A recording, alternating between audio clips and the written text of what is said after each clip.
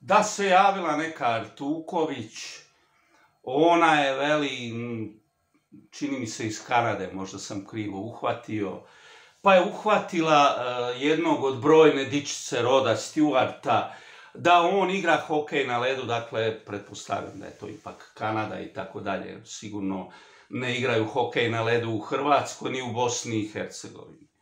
Da je ona sad u Konavlima, da ona ima šta za reći, da je njezin djedo 53. godine pobjegao od komunjara, dame i gospodo, komunizam je u Hrvatskoj upropastio Hrvatsku.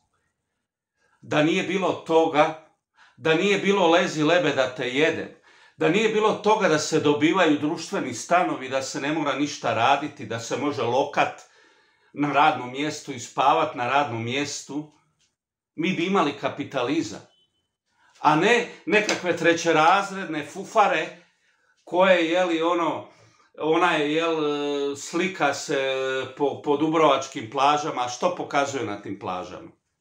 Pa ljudi moji, pa dajte, molim vas, ajmo se malo početi baviti ljudima koji se bave ekonomijom, koji su završili ozbiljne fakultete, koji imaju znanja, sposobnosti i tako dalje. Što je to? Da je ona istetovirala nekakvu šahovnicu. Kakvu šahovnicu? Kakve su to gluposti, ono, ljudi moji? Jel smo mi Hrvati iz Hrvatske? Jel mi poštujemo Hrvatsku državu? Jel poštujemo Hrvatski ustav? Ili stalno nekakve fufe na sve strane nešto imaju za reći? krajnjoj liniji, ako je ona velika Hrvatica, kaže ima dijete od godinu dana, tek se sad udaje. Kakav je to moral, jel te kršćanski, katolički, brige mene. Ja sam i tako ateist, meni je svejedno. Ali kažem, ono, koje kakvi trećerazredni, deseterorazredni koji plaćaju medijima svoje nastupe, postaju važni. O čemu mi pričamo? Gdje su ljudi koji su postigli velike rezultate? Gdje su ona djeca koju sam ja imao svojedobno kad sam na lokalnoj televiziji radio pa sam imao film u glavi, djecu koja su bili svjetski prvaci u matematici, e, fizici, e, robotici. Gdje su ta djeca?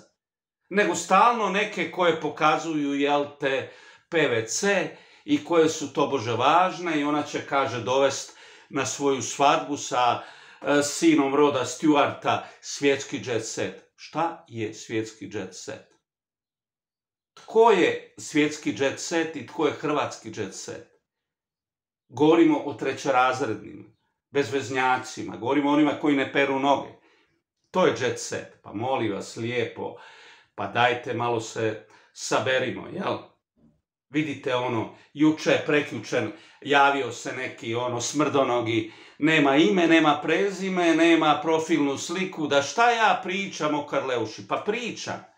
Pričam o fenomenu nekoga ko izgleda kao monstrum, koji ima kilu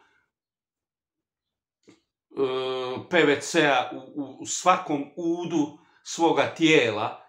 Govorimo ljudima koji su izmišljeni, govorimo ljudima koji su osrednji. Ej, takvi plaćaju, jeli, imaju para, pa mogu plaćati PR, pa su po svim medijima, srpskim, bosanskim, ovim, onim, lijevim, desnim. Tko je taj koji stvarno ima rezultate svog rada? Tko je taj koji je uspio? Tko je taj koji nam je pokazao i dokazao da se može uspjeti u svjetskim okvirima?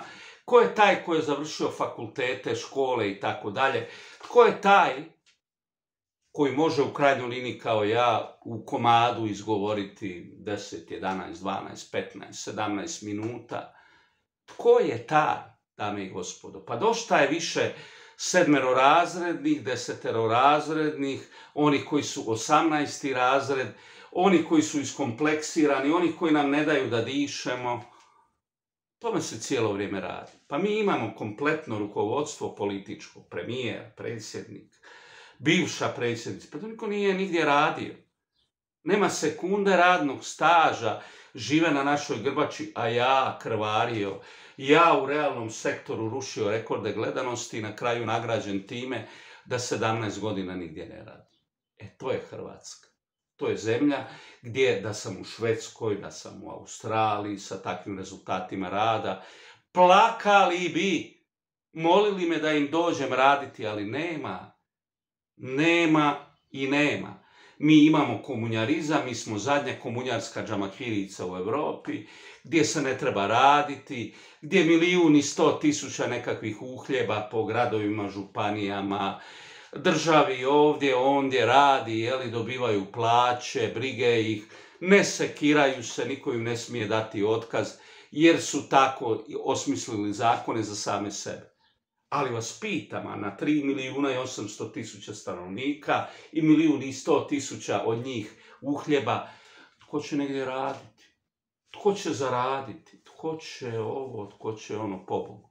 I onda mi, kažem, imamo nekakve fufare koje se dovuku iz bijela svijeta, da je ona nekakva velika Hrvatica, ovo ono. Pa ona i svadbu radi sa tim e, svojim mužem, hokejašem u Dubrovniku, jer je to jeftinije nego da radi negdje drugdje. A mi si umišljamo da ona silno voli Hrvatsku. Ma voli malo. Dakle, dame i gospode, ja vas molim, vas koji ste pravi Hrvati, ako želite u Hrvatskoj uložite, neka ta fufara uloži svoj novac i neka taj e, sin roda Stuarta uloži u nekakav biznis, zaposli nekakve ljude, da se nešto događa.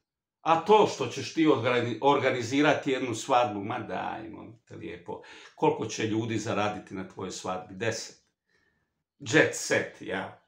Jet set će doći, neš ti jet seta, molim te lijepo. Ko će doći? Će doći trenutno najvažniji pjevač na, na top ljestvicama, doći Aca Prijako i upozovu, jel?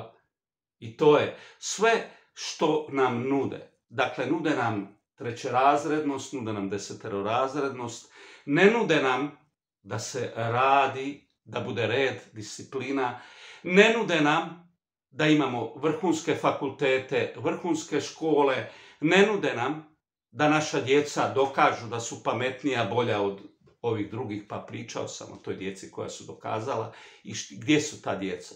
Pa sigurno su negdje na nekim fakultetima po Americi, u Izraelu, ovdje, ondje, gdje se vrti, jeli, vrhunski fakulteti, IT industrija. Šta će im Hrvatska? Zemlja, ono, prevare, zemlja pljačke, zemlja deseterorazrednosti, obična septička jama zla.